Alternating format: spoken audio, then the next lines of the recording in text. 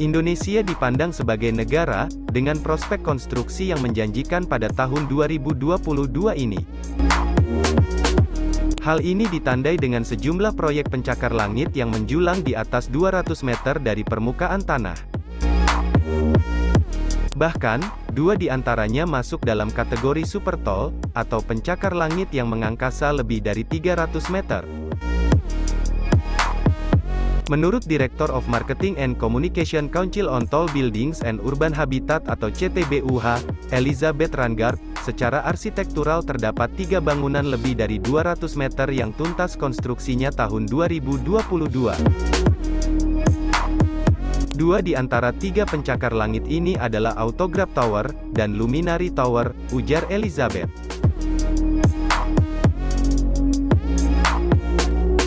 Menariknya, Pengembang dari bangunan-bangunan jangkung ini menempatkan hotel dengan international chain sebagai magnet utama, guna menarik minat pengunjung. Tak main-main, international chain yang digandeng adalah perusahaan perhotelan legendaris dengan merek-merek bereputasi.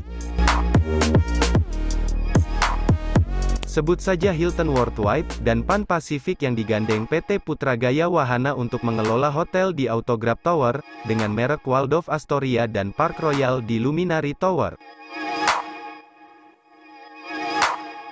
Jika kelak kedua pencakar langit ini tuntas dan beroperasi, maka Waldorf Astoria dan Park Royal akan menjadi hotel tertinggi pertama dan kedua di Indonesia, yang masing-masing menjulang 382,9 meter, dan 301 meter.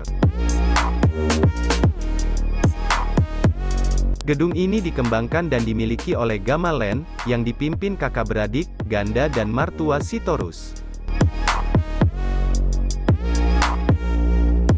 Mereka bekerja sama dengan Marriott International untuk mengelola The Westin Jakarta.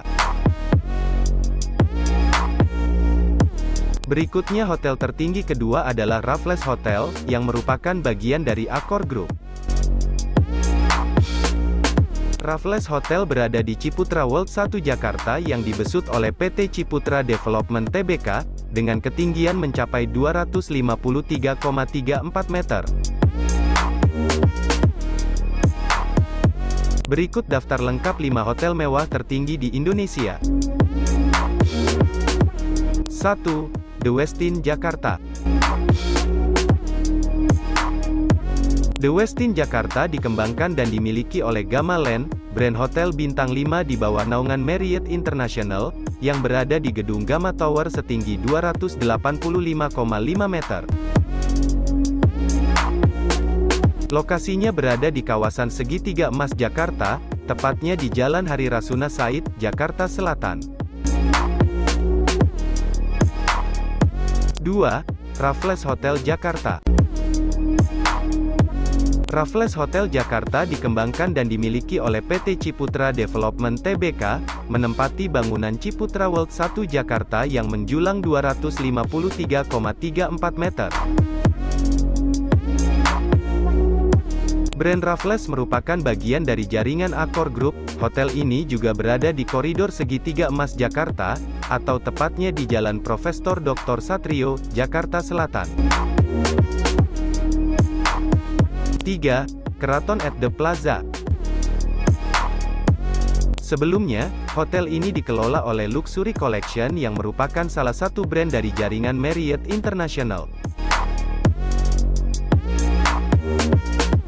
Saat ini, hotel sejangkung 225 meter tersebut dimiliki dan dikelola oleh PT Plaza Indonesia Realty Tbk, menempati area Mixed UC Project bersama dengan Pusat Belanja Plaza Indonesia, Perkantoran The Plaza, dan Grand Hyatt Hotel, di Jalan MH Tamrin, Jakarta Pusat. 4. The Ritz-Carlton Jakarta Hotel ini dibangun dan dimiliki Senturi Properties Group Indonesia dengan struktur mencapai 212 meter, merek Ritz-Carlton dikenal sebagai bagian dari Marriott International. Lokasinya berada di koridor segitiga emas, kawasan bisnis terpadu Mega Kuningan, Jakarta Selatan. 5. Regent Hotel at Mangkuluhur City KG Global Development yang dinahodai Heri Gunawan, menggandeng IHG Group untuk mengelola properti hospitalitasnya dengan merek Regent Hotel.